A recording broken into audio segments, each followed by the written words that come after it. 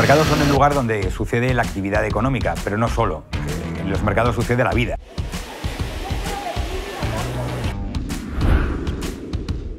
Los mercados es como un pequeño pueblo en el cual te conoces todo.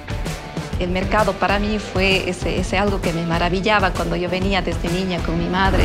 No podemos sacar una, una ciudad adelante si no hay ese amor y ese cariño. Nos sentimos orgullosos realmente.